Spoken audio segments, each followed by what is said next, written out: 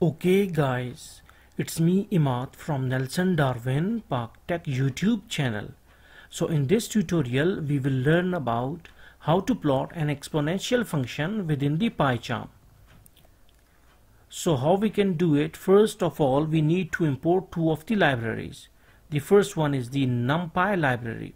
So we need to write import NumPy is np okay and the second library is import matplotlib matplotlib dot pyplot okay is we can say pl uh, t okay.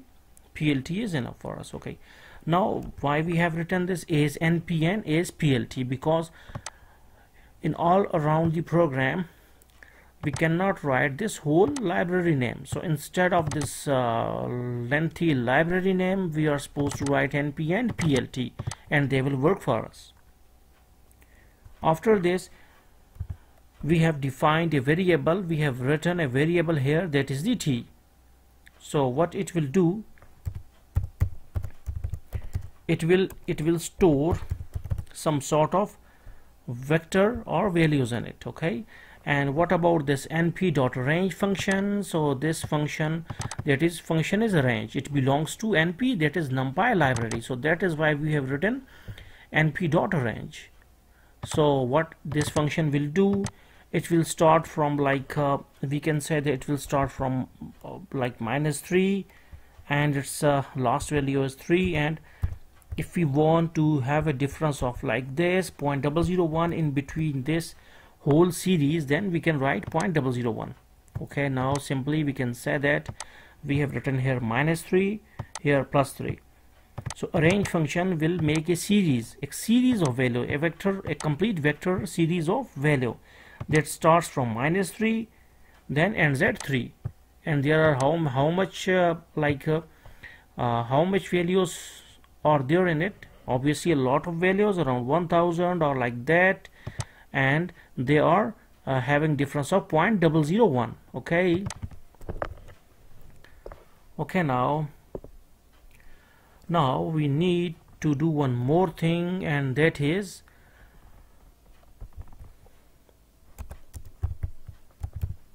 we will go for our uh, amplitude of the exponential function. So how we can take the exponential uh, function amplitude that must be on y-axis. We can write here like uh,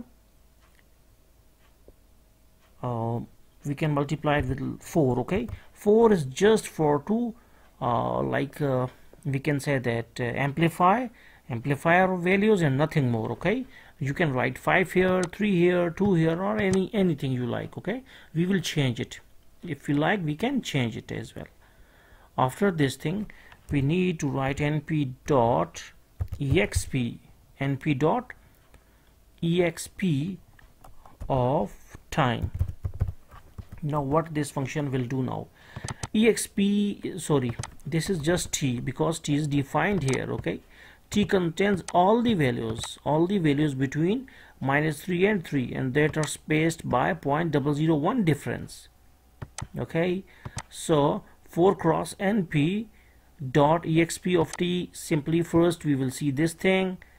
Exp is our exponential function and it will take the exponential function of all the values from minus 3 to 3 with a difference of 0.001 after this all these values will be multiplied with 4 and then will be given to ampli variable. Ampli is just a variable. You can change its name if you like now we need to uh, plot. So for plot there is one what's called as the library matplotlib. So plt dot plot plt dot plot. Plt dot plot t comma ampli because plot function is a specialized function of the matplotlib library it is just like the function that uh, used to be inside the MATLAB. Maybe you have heard about the MATLAB. So this plot function will take uh, uh, two vectors. One is t that is on x-axis time and amplitude is on y-axis. So after it it used to plot both the uh, things okay? So after it we also need some grid grid or the lines on so that we can see so plt dot grid and plt dot show will um, show us the graph okay? So these are the grid and show or the functions belongs to matplotlib library. Uh, plt is an object of matplotlib so we have just written there. If we use to write matplotlib.pyplot.plot still it is okay for us okay? And like this. So now we are supposed to run it.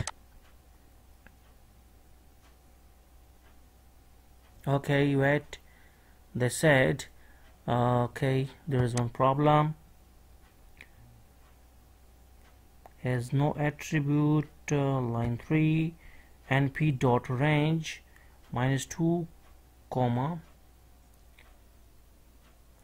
t is equal to np dot range numpy is okay. Then we need to multiply np dot exp okay? So so it, it is right okay? It, it seems to be right okay? Can, can we uh, either we are supposed to change values but these values are nothing to do okay? So I think that we have written the spelling of range function is wrong okay? So now hopefully it will run. Now it is running okay?